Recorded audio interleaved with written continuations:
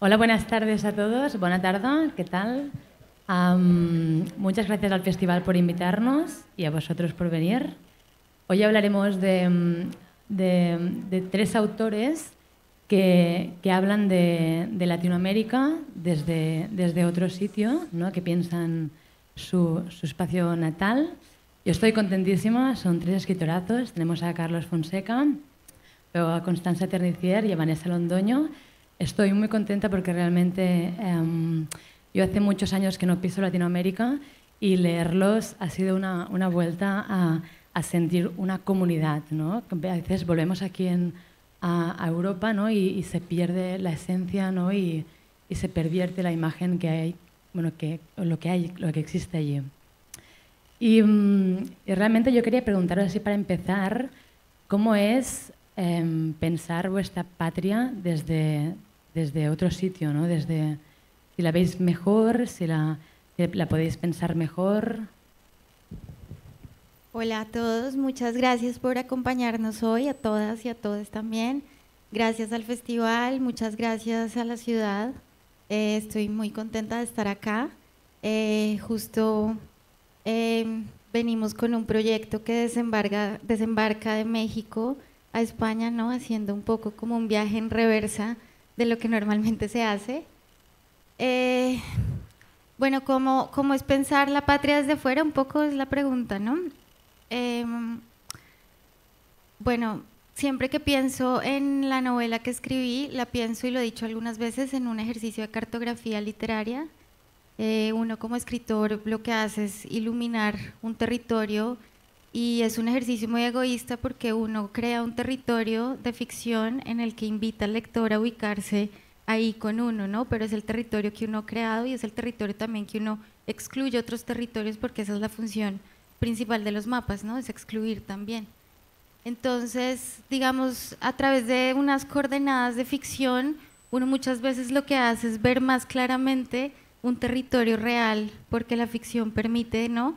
El vehículo para visibilizar cosas a las que normalmente estamos, eh, que tenemos ya normalizadas. Eh, entonces para mí el ejercicio de entender mi propio lugar, mi propio país, mi propio territorio y mi propia región ha sido a través de la literatura, ha sido a través de la ficción. Y fue un ejercicio que obviamente no pude hacer viviendo en Colombia, sino que lo hice viviendo afuera, ¿no? que es la gran paradoja que yo creo que todos en algún momento de la vida como escritores o artistas experimentamos esa posibilidad de trazar una cartografía solo cuando estás lejos de ese, de ese lugar.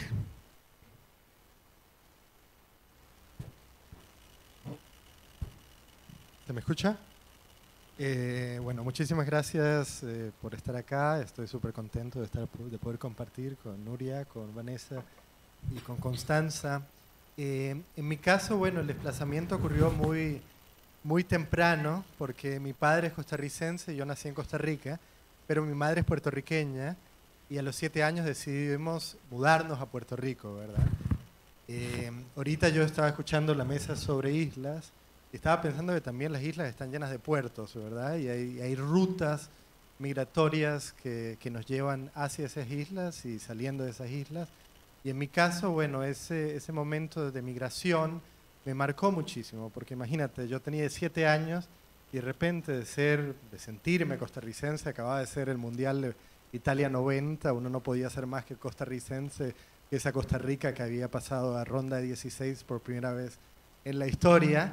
De repente llego a Puerto Rico y me dicen, bueno, pero ahora tienes que ser puertorriqueño, ¿verdad? Yo voceaba, los puertorriqueños tutean, y realmente intenté, hice el esfuerzo, pero de repente ocurrió algo rarísimo, que era que en Puerto Rico todavía me consideraban costarricense y después en Costa Rica, cuando regresé, ya tuteaba y no me consideraban ya costarricense. Entonces estaba en un punto casi como de, ambigüedad identitaria.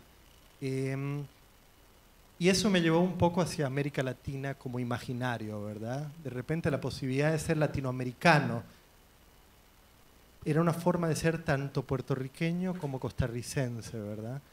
Eh, eventualmente me mudé a Estados Unidos a estudiar y, ahí todo el mundo me decía, Costa Rica, Puerto Rico, muchas veces ni siquiera sabían cuál era la diferencia. Decían, oh, Latin America, ¿verdad? Entonces yo, yo creo que mi ficción es un poco trabajo eso, trabajo América Latina como una propuesta latinoamericanista interna desde el continente, pero también como una fantasía que viene de lugares coloniales, este, desde Europa, desde el norte, ¿verdad? Y creo que un poco me, gusta ubicar esas rutas de mis personajes como una forma de, de, meterse en la forma en que esas rutas están trazando fantasías coloniales sobre lo que es América Latina, pero también como América Latina está respondiendo con formas de identidades que están autodefinidas desde adentro. Bueno, parto también con las palabras de rigor, mm, agradecida de estar acá, agradecida a Casa América, de Biblioteca de Barcelona y, de poder leernos entre nosotros. Creo que es el gran valor de estos festivales. Eh, me he puesto a leer a, Carlos con, entusiasmo el último libro, el libro de Vanessa, que está presentando acá. Eh, y no sé, creo que finalmente ese es el gran valor de estos encuentros, ¿no? Así que gracias. Dicho esto, yo creo que la migración es, como que todas y todos somos migrantes de algún lugar, ¿no? Y quizás llegar a entenderlo puede ser eh, el modo también de empatizar con lo que significa migrar. O sea, nosotros tenemos experiencias particulares, sobre todo por estudios, ¿no? Que nos hemos movilizado, eh, bueno, aparte del, móvil isleño aquí, eh, pero, pero también hay algo migrante que nos constituye y, creo que la trayectoria, que es mi última novela, un poco trata de expresar eso, ¿no? Es como, es ese, sujeto que migra, pero que también representa a las y los migrantes, ¿no?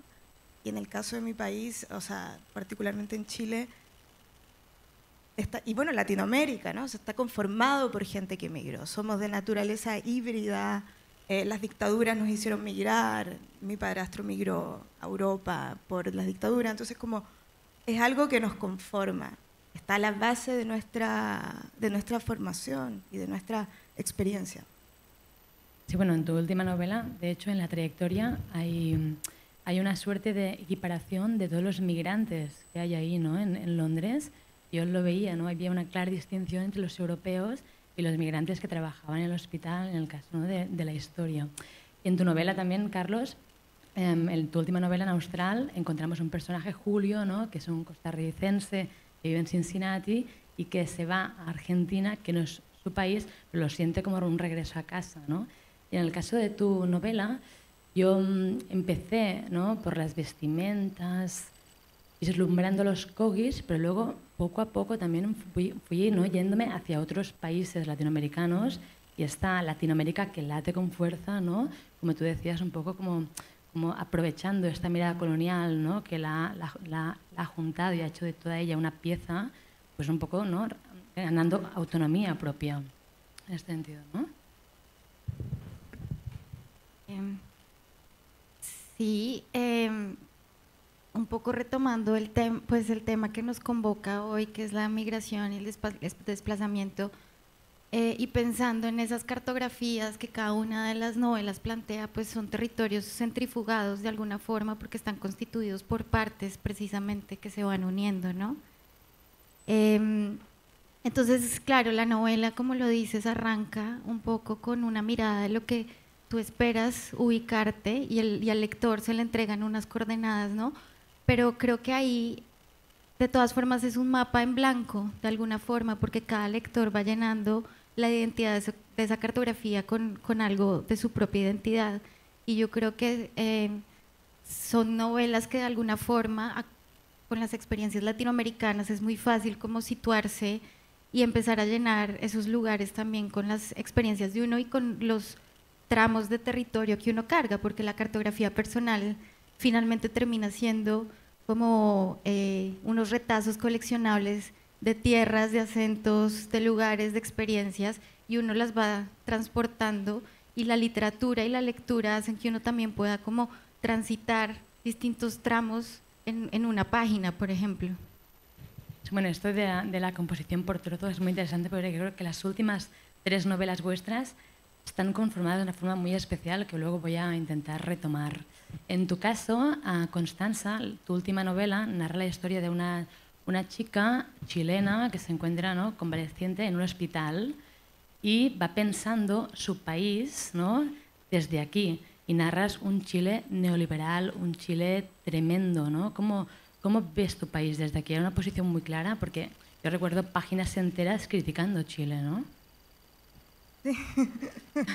Eh, sí, como la novela un poco tiene como este odio adolescente a Chile, de algún modo.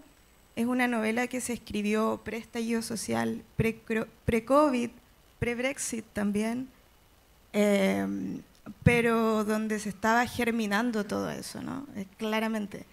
Y bueno, no sé si el COVID, porque eso ya dejémoselo, pero por lo menos eh, el Brexit y el estallido social, eso ya habían antecedentes. Entonces, em, situarlo en, ese escenario, que es un hospital en Londres, es también como eh, ese cuerpo enfermo expresa la, em, enfermo por el deseo, además, como por el amor, ¿no? O sea, eh, expresa también como el deseo de querer acceder a esta suerte de estado de bienestar en un hospital londinense donde se accede a medias, porque tampoco del todo, o sea, ahí hay como eh, una acusación de que se está haciendo turismo médico, eh, este tipo de cosas, ¿no? Entonces, eh, por eso digo que pre-Brexit, pero donde eso ya estaba presente.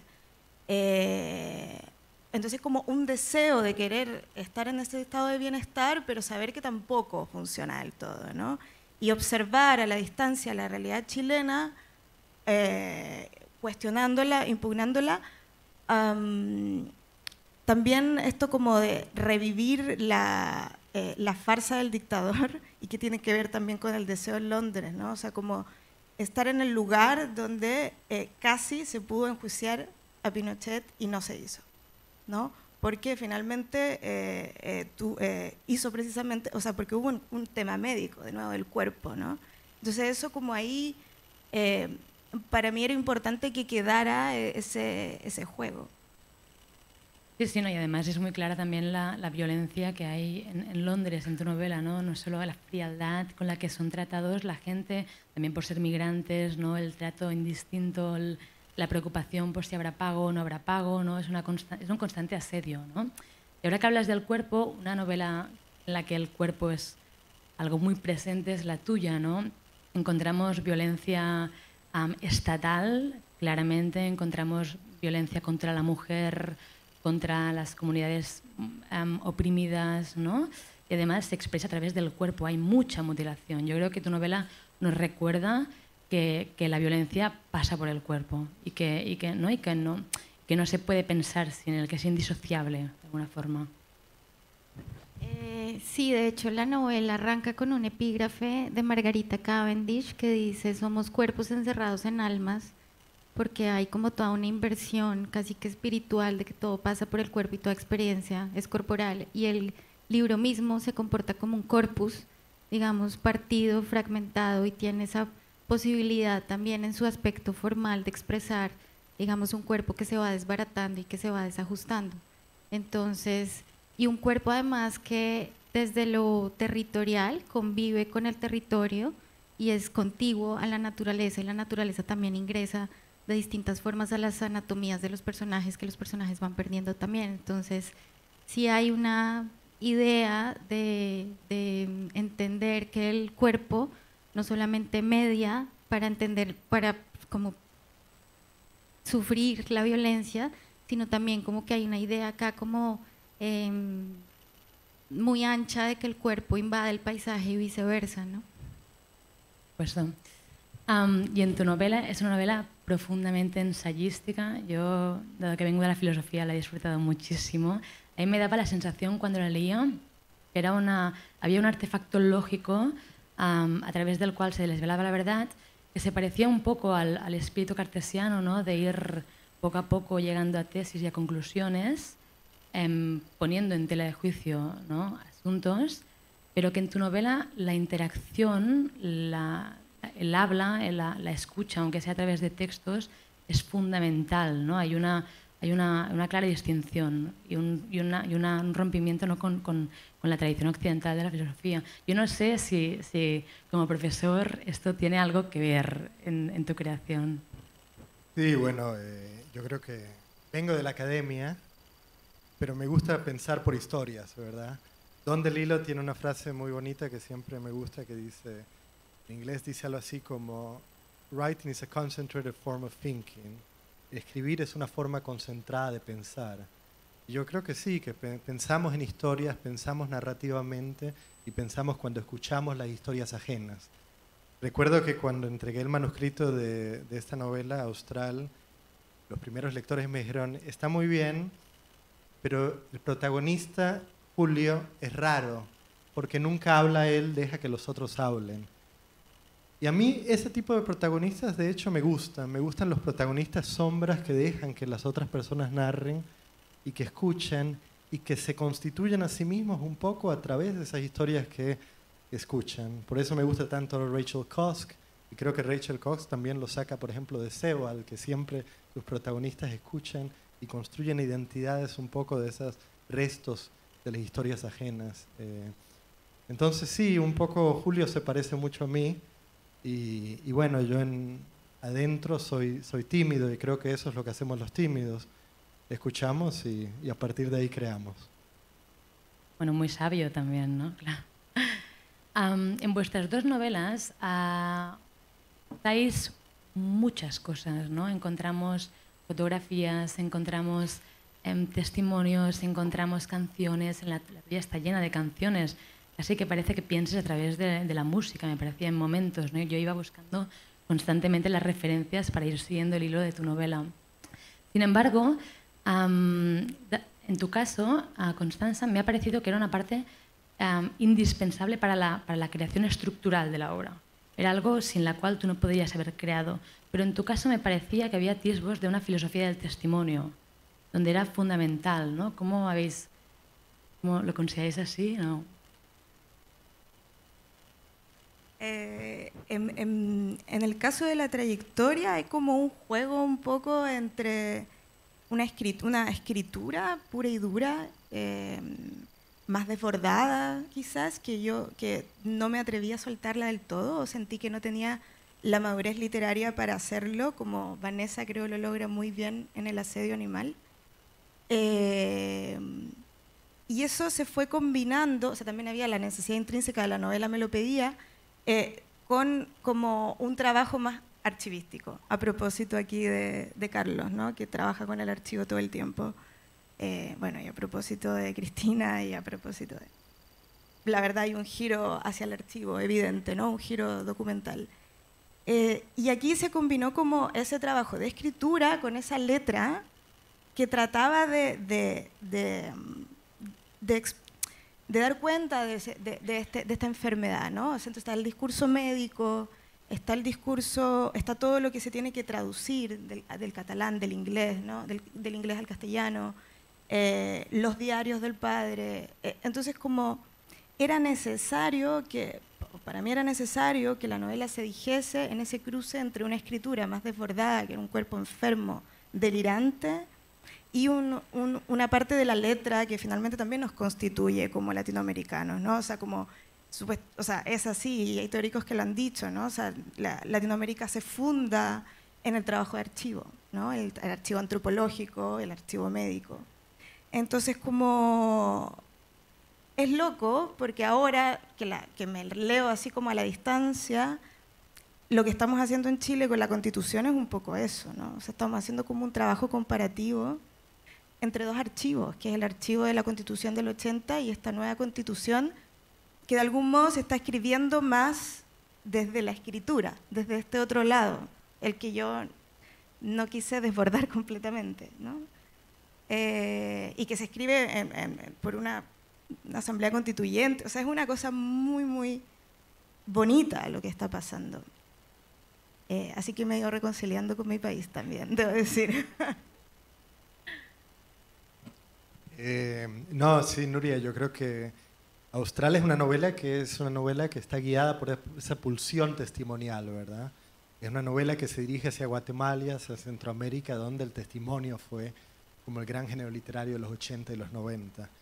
Eh, es lindo que Constanza mencione el archivo y que mencione que acá tenemos a dos de las que para mí por lo menos fueron de las maestras para ayudarme a pensar cómo pensar el archivo latinoamericano, que fueron Cristina Rivera Garza y Marta Ponte. Y particularmente en esta novela yo creo que es una novela sobre dejar huella. Hay tres personajes, un último hablante indígena y el antropólogo que está tratando de que esa cultura deje huella, quede grabada dentro de cierto archivo.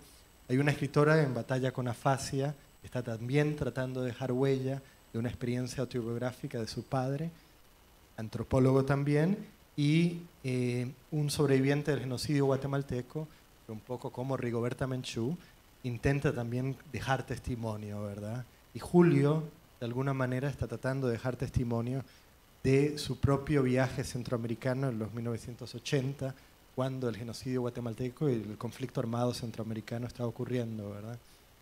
Entonces, yo creo que sí, que el, que el archivo y esa pulsión o ese horizonte testimonial es hacia donde todo se dirige, eh, hacia donde también se dirige un poco la escritura, ¿verdad? Escribimos para dejar huella, escribimos para construir contraarchivos contra aquellos archivos que, que son los archivos del poder, los archivos estatales, los archivos oficiales o hegemónicos, ¿verdad? Entonces, la pregunta es cómo uno puede meterse ahí y desestabilizar un poco. Sí, sí, por supuesto. Y en tu caso también hay muchos testimonios, ¿no? A mí, yo cuando, cuando leía tu novela veía a Faulkner y la, esta construcción de un espacio a través de, de una comunidad, ¿no? Yo no sé si hay Faulkner por ahí, si es un referente, quien había en esta construcción ¿no? del, del espacio. Yo lo veía claramente allí. Y además, perdona que quería dialogar un poco con lo que decías, que además la constitución chilena se está escribiendo con una lingüista a la cabeza, ¿no? Que es em, Elisa Loncon, ¿no? Que además es un proyecto hermosísimo porque es el reconocimiento de la pluralidad de las lenguas y es muy hermoso que una constitución parta desde el reconocimiento del lenguaje y parta desde ahí, me parece un proyecto hermosísimo. Em, sí, el, el, el libro además también arranca con otro otro epígrafe de Faulkner que a mí me gusta mucho y que me ha ayudado mucho a pensar Colombia y me ayudó mucho a construir la novela y es em, en el momento en que nos damos cuenta que las tragedias son de segunda mano, porque las historias también se revenden en un mercado de segunda y hay una usurpación del lugar de enunciación, que es lo que yo creo que ha pasado en Colombia eh, en la historia del conflicto armado, ¿no? Eh, el proceso de paz sufrió y, y estuvo atravesado por allí Digamos que cuando uno mira el mapa de Colombia, de cómo se dieron las votaciones, de las votaciones que negaron la posibilidad de implementar el proceso de paz, casi que toda la periferia de Colombia había votado, que fue donde el conflicto fue más duro y donde se ha vuelto a recrudecer. Casi toda esa periferia votó masivamente por aprobar el, el proceso de paz, ¿no? Y en las ciudades la gente votó que no, quería el proceso de paz y había una usurpación de esas historias de las víctimas eh, la gente de la ciudad lo que decía era es que el, conflicto y las víctimas sin haber sufrido nunca eh, la, violencia en carne propia, ¿no? Entonces, precisamente esa frase que tiene Faulkner que me ayuda a entender muy bien Colombia, de lo que, lo que explica es que todo el tiempo se están revendiendo historias eh, en, en los distintos mercados donde se transan. Entonces, por eso en la novela hay como una polifonía y además también se explora un poco eso de las historias están a medio contar y quién las cuenta, ¿no? Y quién, quién, quién dice cómo pasó, que es un poco el tema del archivo hegemónico también y lo que dice Pilia, que en el fondo las novelas son eh, la tensión que existe, ¿no? Entre esta narrativa hegemónica, poderosa de los estados frente a las distintas narrativas sociales y cómo en la intersección de esas narrativas los escritores precisamente hacen un diagnóstico y dicen, aquí lo que está, lo que está pasando es esto, ¿no? que es una contra, eh, una contranarrativa contrahegemónica de alguna forma. Entonces, sí había una exploración hacia ese, hacia ese lugar. Y por eso Faulkner como que precisamente esa polifonía permite explorar esa heterogeneidad de las voces. Y la, y la decisión de no, de no nombrar de que no saber quién está hablando hasta que no llevas texto metido es una decisión también para, para, para juntar esta comunidad, ¿no? Para, para hacerlo un coro, ¿no? Más unido, intuyo. Sí, no, no saber quién está contando y, y, también preguntarse quién debería estar contando la historia, ¿no? Que yo creo que es una pregunta fundamental que a veces en la literatura nos olvidamos y es, ok, el narrador es este, pero ¿será que es adecuado que sea desde ahí que estemos narrando la historia o debería buscar otro, otro personaje, otro narrador para contarla? Claro, yo cuando, cuando leía vuestras novelas inevitablemente buscaba ¿no? puntos en común para, para, hacer la charla y me di cuenta que un punto en común es el tema del recuerdo. O sea, los tres trabajáis con el recuerdo, ¿no? En tu caso es un recuerdo de un trauma insistente que los personajes llevan encima y que forma parte ¿no? de, de, su piel casi, con el cuerpo. En tu caso es un, un, recuerdo como ausencia, un poco, ¿no? esta obsesión que tiene la protagonista con Aleix, el chico catalán, ¿no? y, que, y, que, y que está todo el tiempo pensando en él y es su forma un poco de huida. Y en tu caso es el recuerdo como salvación, ¿no? los casetes que van grabando la última lengua del indígena, que es el último indígena de su tribu que está a punto de perecer, ¿no? ¿Cómo os habéis relacionado con este recuerdo?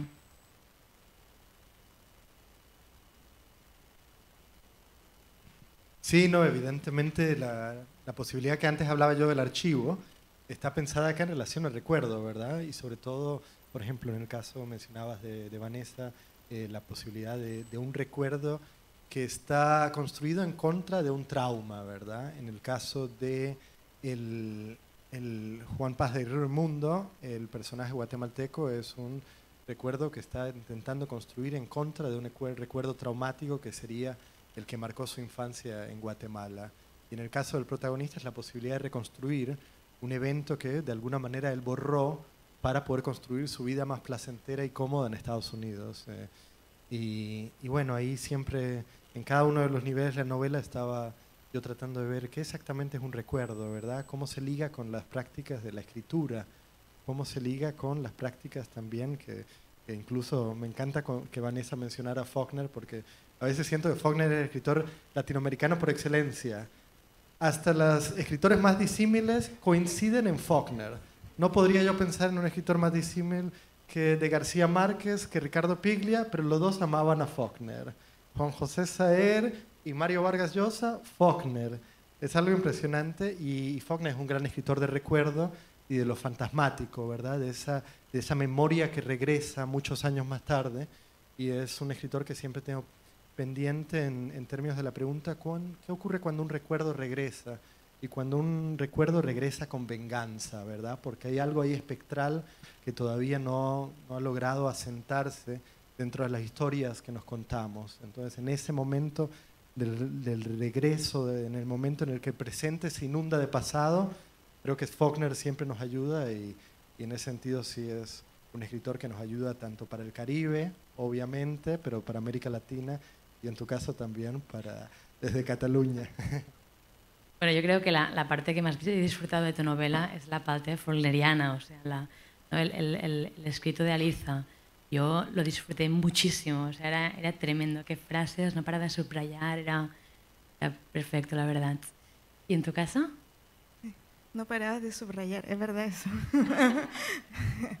eh, este, Sí, yo creo que finalmente la literatura es un ejercicio de memoria, ¿no? Hay como, eh, no podemos escapar a esa pregunta y incluso a la pregunta del olvido, como entendemos muy, de manera muy dualista la memoria y el olvido, cuando deberían, cuando son en realidad dos cosas duales, en el sentido de que se integran, se miran, se, se, impugnan también, ¿no? O sea, y el, esta idea del el, el coronel Lágrimas, que, que, que casi hay algo como que queda borrado también, ¿no? de querer borrarse. Eh, en el archivo mismo también, ¿no? Siempre el archivo es un ejercicio de recuperar memoria, pero también de, de, de algo que queda ruin, ruinoso, que queda, que queda en la sombra. En el caso de mis novelas, creo que eh, ese, ese dualismo existe, o sea, como el estado de coma es un estado de, olvido completo, ¿no? Hay algo que tiene que ver también con el, miedo del electroshock, de perder la memoria, ¿no? de la amnesia, em, que está muy presente. En el caso de Hamaca hay zonas mudas que quedan también, que tienen que ver con la infancia, con cuánto se recuerda y se, y se es capaz de, o, se olvida de la infancia. ¿no? O sea, siempre está en ese juego. Y recuperando más la tradición literaria también, eh, muchas veces escribimos conscientes de esta tradición, ¿no? O sea, hay, ahí como siento que hay una necesidad de, desde este presente que nos puede, que es inmenso, ir recuperando hacia atrás, ¿no? Esa tradición. En el feminismo, por ejemplo, ¿no? Recuperar toda la tradición hacia atrás. Hay una necesidad imperiosa. Em, y lo que quería decir que, claro, eh, eh, eh, la, tradición como se condensa en, un, en, un, presente, que es brutal, que es lo que hace Vanessa con, como de condensarlo con una pluralidad de voces, ¿no? Y aquí una condensación temporal de tradiciones, en el caso de Carlos. Pero también retomo lo esto de, una condensación que es literaria y, y, que se cuela, o sea, que hay posibilidades de lapsus, ¿no? En la, en la trayectoria eh, hay unas, o sea, lo leí también leyendo el diario de muerte de Enrique Lin, y ahí sucede algo muy curioso, porque él cita, no la cita, digamos, la plagia, ¿no? entre comillas, a Susan Sontag, pero no es que la plagie, es eh, en un estado moribundo, ¿no? sucede ahí como eh, un, fenómeno que se llama de criptopnesia, que en realidad es como que se cuelan este, estas, estas influencias, estos influjos. ¿no? Probablemente cuando estemos todos en nuestro lecho de muertes nos va a aparecer Faulkner y vamos a empezar. ojalá, ojalá. Ah, bueno, y de hecho, tú sometes al lector a, la amnesia de la protagonista. Hay cosas que no nos desvelas, ¿no? Y, realmente andamos con ella. No nos haces partícipes de la totalidad, sino que no, aunque no estamos dentro de ella, porque no es ella quien habla directamente, estamos muy cerca de ella, ¿no? Y, viajes acompañándola en, en, este olvido y desvelamiento, pero muy lento y muy, muy poco, ¿no? Del libro. ¿Y en tu caso? Eh, bueno, pues siempre que pienso en la memoria, un libro que fue fundamental para mí para escribir El asedio animal es Los recuerdos del porvenir de Elena Garro, porque creo que ahí está la clave de lo que un poco es Latinoamérica, que es siempre estar encontrando estos hallazgos del futuro en el pasado, ¿no? Y tal vez la novela se mueve en esa tensión de las que ustedes también hablan, que es olvidar y recordar. Em, la novela tiene como una usa la lluvia como un vehículo que, que digamos de alguna forma activa la memoria de los personajes todo el tiempo y es el vehículo que le permite a los personajes recordar y digamos que también llueve todo el tiempo, es una novela donde llueve todo el tiempo, pero también el exceso de lluvia crea deslaves, ¿no? Entonces, mientras el agua va creando memoria en la tierra porque va creando cauces y va creando una huella, los deslaves también lo borran todo, ¿no? Porque vivimos precisamente en esa tensión de estar recordando, pero estar olvidando sobre todo los, no sé, Latinoamérica es un lugar donde siempre estamos olvidando. Y finalmente creo que la salida un poco que encuentra la novela y es es algo también muy Faulkneriano, eh, ojalá no se nos aparezca para asustarnos Faulkner, pero es algo también muy Faulkneriano, es que la novela no tiene una cronología, sino que los personajes van transitando, digamos, las intensidades de sus propios recuerdos. Y de alguna forma al final lo que hay es una, mujer que reconstruye las historias de los demás y reconstruye también las, digamos que hay un cuerpo que se va creando y va como van renaciendo las partes que le han ido mutilando a los demás personajes van renaciendo en su cuerpo, ¿no? Y al transitar ya no el territorio, sino que al transitar las memorias de los otros personajes, hay una apuesta por la memoria colectiva que yo creo que es como la salida que tenemos, que es lo que se está haciendo ahorita en Chile, ¿no? Como precisamente entender que la memoria, lo colectivo, la memoria histórica es precisamente la única salida, digamos, a los conflictos que tenemos en Latinoamérica. Sí, totalmente de acuerdo. Bueno, y ahora que hablas de la, de la cronología, en tu caso es una cronología mucho más, de, más lineal, ¿no? pero en tu caso, por ejemplo, yo me da la sensación de estar delante de esta concepción del tiempo como un saco de cosas que se van acumulando, ¿no? Y donde el nazismo entra en juego en Latinoamérica, donde no realmente es imposible pensar el tiempo de forma lineal, porque somos ¿no? como un ángel de la historia que va sumando todo lo que hay detrás y no podemos huir de ello. ¿no? Y más como el modelo de, la roca, ¿verdad? De la estrata o de los estratos y, que están sedimentados. Pero quería regresar muy brevemente a lo que dijo Vanessa sobre los recuerdos del porvenir y sobre esa tensión que recordaba yo ahora cuando escuchaba a Laura Restrepo hablando del COVID, de que parecemos tener, parece que hay una especie como de crisis sobre la futuridad. Vivimos en un presente tan catastrófico y tan plagado de crisis que se nos hace muy difícil pensar en el futuro.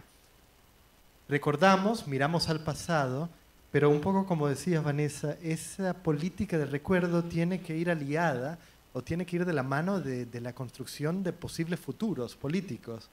Em, basta, por ejemplo, entrar a una librería y ver la cantidad de los libros cuyo título uno encuentra la palabra final, ¿verdad? Ahora mismo no hay nada más sexy que el final, la catástrofe, la crisis.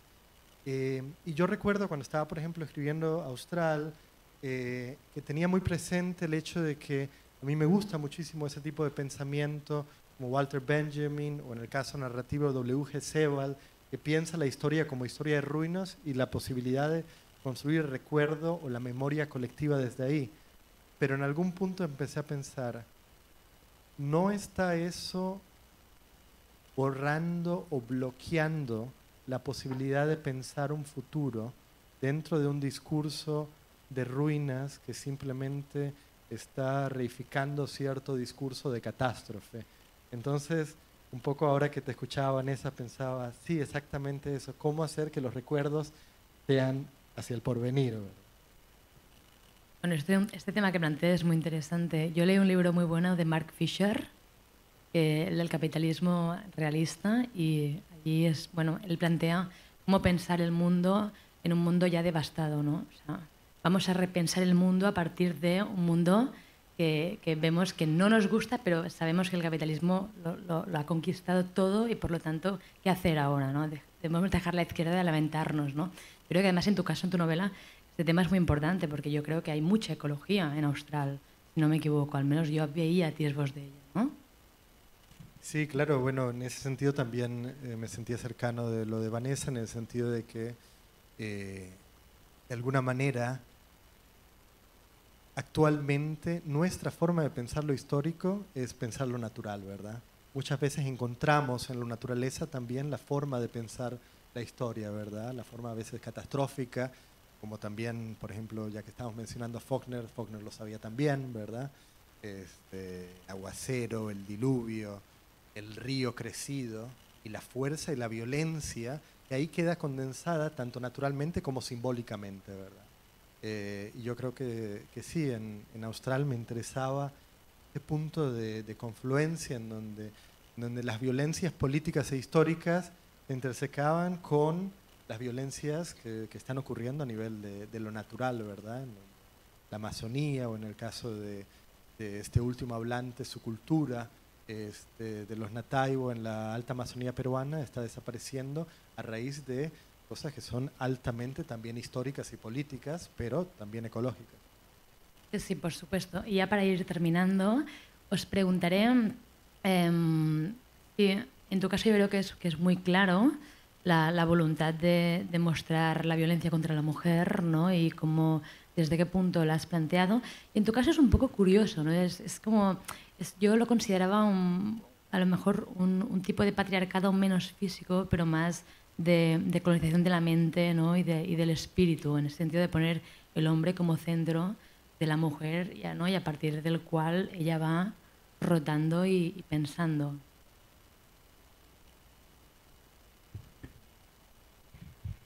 Eh, bueno, lo primero es que las anatomías femeninas siempre en la literatura han estado pensadas y narradas como cuerpos vacíos y siempre han estado pensadas desde como el escritor hombre, ¿no?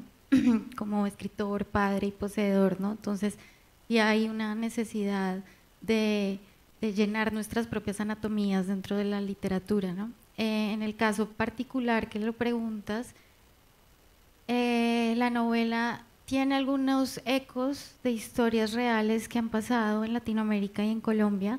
Ninguna es completamente real, siempre apuesta, digamos, por centrifugar y hacer retazos de todo, de territorio, retazos de historias, pero sí hay, digamos, quizás el único personaje que sí tiene un referente muy claro es Hernán Giraldo, que es un, es un paramilitar colombiano muy violento, em, que acaba de regresar de Estados Unidos porque fue extraditado y lo que estamos esperando es que se lo juzgue por los delitos sexuales que cometió, ¿no? los abusos que cometió sobre las mujeres en la Sierra Nevada de Santa Marta precisamente. Fue un, paramilitar que eh, su ley era violar a todas las niñas, ¿no? a todas las vírgenes y la virginidad de alguna forma existe. Y esa era como su ley dentro del territorio, ¿no? Esta idea como súper atroz de, del patriarca, de la gran familia, ¿no? Entonces, sí, el, el referente lamentablemente tiene un, un, eco en la realidad colombiana y de ahí surge como toda la construcción que se hace de este patriarcado que está depredando la naturaleza, pero también los cuerpos de las mujeres. Sí, yo creo... a ver, hay algo ahí como mm, em, de, este, de este personaje que queda como parece supeditado, ¿no? O parece como que queda muy pasivo frente al, al, otro, ¿no? Al otro que, que, de algún modo porta la enfermedad, ¿no? O sea, hay un cruce como entre enfermedad y, y, y, amor que es, muy medieval también. O sea, de ahí que a propósito de los archivos que componen la novela hay una parte que recoge toda la, la, tratadística medieval, ¿no? Bernardo de Gordonio, hay como eh, estos, estos tratados del amor como una enfermedad. Em, están ahí presentes también por, por, por, por acoger esta, esta, es como, hay, hay como un correlato entre ese cuerpo enfermo eh, y ese cuerpo migrante por eso se llama la trayectoria de los aviones en el aire. Entonces hay algo ahí como, como los virus andan en el aire, como el virus que siempre viene de afuera, eh, el, amor como casi un invasor, ¿no? Así como estas metáforas que por lo demás son súper peligrosas eh, de, considerar el amor como un terreno de conquista, ¿no? Como eh, te, voy a como hacer claudicar, ¿no? Entonces un poco ese era el juego eh, y, que haya finalmente una enfermedad como la encefalitis, que podría haber sido COVID también, es una enfermedad como que tiene una resonancia colectiva también. Es como el, el, el, el cuerpo enfermo se, se enferma también, eh, hay como una indiferenciación, ¿no? como un poco las pestes medievales, como donde el individuo, el, proceso de individuación todavía no estaba tan presente en, esa época, ¿no? Como pasa los cuerpos del libro de Vanessa. Hay algo ahí como que se indiferencia entre los cuerpos. Eso me parecía bonito de explorar. Muy bien, pues muchas gracias por acompañarnos a todos y buenas tardes.